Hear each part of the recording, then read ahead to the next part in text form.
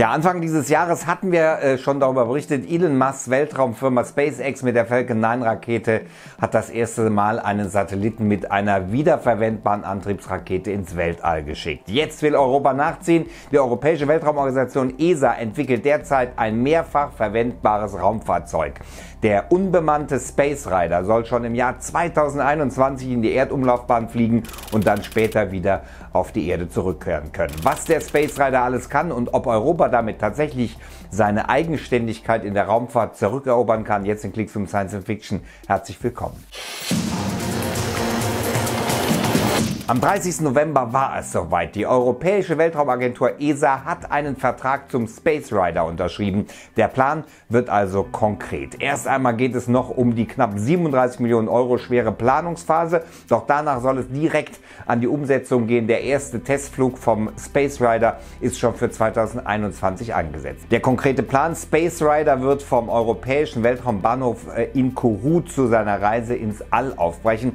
Das soll mit Hilfe einer Vega Rakete passieren. Vega ist italienisch und steht für Vettore Europeo di Generazione Avanzata, also übersetzt so etwas wie fortgeschrittene Generation einer europäischen Trägerrakete. Es handelt sich dabei um eine vierstufige Trägerrakete für Satelliten, die im Auftrag der ESA entwickelt worden ist. Nach zwei Monaten im niedrigen Erdorbit, also einer Höhe von etwa 400 Kilometern, soll ein Modul des Raumfahrzeuges wieder in die Atmosphäre eintreten und dann möglichst sanft und unbeschädigt auf der Erde landen. Space Rider soll als Labor fungieren, mit dem Experimente in der Schwerelosigkeit getestet werden. Zudem sollen neue Technologien ausprobiert werden. Technisch gesehen basiert das Projekt Space Rider auf dem experimentellen Raumfahrzeug IXV, das steht für Intermediate Experimental Vehicle.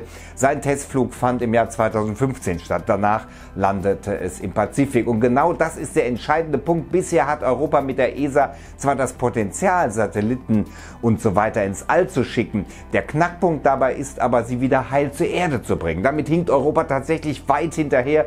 Mit dem Space Rider will die ESA also jetzt seine Stellung in Sachen Weltraum-Know-how, Raumfahrt ausbauen. Denn wir haben darüber berichtet, die USA sind da unter anderem mit neuen Akteuren auf dem Markt ganz, ganz vorne mit dabei. Unter anderem eben auch Elon Musks Weltraumfirma SpaceX. Vor allem im Bereich der Trägerraketen ist der Kostendruck und auch der Wettbewerb auf diesem Markt enorm gestiegen. Schon im März 2017 hatte SpaceX wiederverwendbare Weltraumflieger ins All gebracht und zwar erfolgreich. Die Falcon 9 War tatsächlich sicher auf einer schwimmenden Plattform im Atlantik gelandet. Nach Musk hatte die Entwicklung solcher wiederverwendbaren Antriebsraketen allerdings 15 Jahre gedauert. Höchste Zeit also für die ESA nachzuziehen. Auch deswegen gab es wohl eine weitere Vertragsunterschrift von Seiten der ESA.